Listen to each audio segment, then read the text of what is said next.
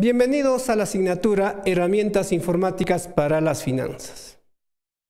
En esta ocasión se les va a presentar un caso en el cual una alumna, Valeria, desea ahorrar en un banco y tiene dudas respecto al uso del dinero. Por ello recurre a su amigo Daniel, quien le orienta utilizar el interés simple y cuándo utilizar el interés compuesto. Daniel, experto en hojas de cálculo, finanzas, hace una simulación y le muestra la diferencia entre interés simple y compuesto. Nótese que en una gráfica podemos identificar claramente que el interés simple a lo largo del tiempo se mantiene fijo.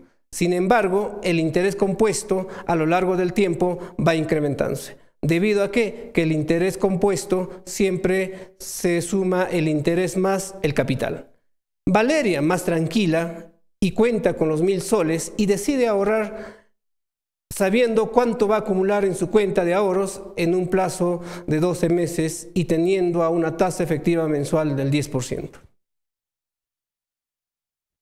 En esencia, ¿qué decisión hubiera tomado Valeria de no informarse sobre el interés simple y el interés compuesto? ¿Qué importancia tiene de manejar el hoja de cálculo en tu vida diaria? Consideras el, cálculo de las finanzas y la creación de escenarios, herramientas importantes para los proyectos.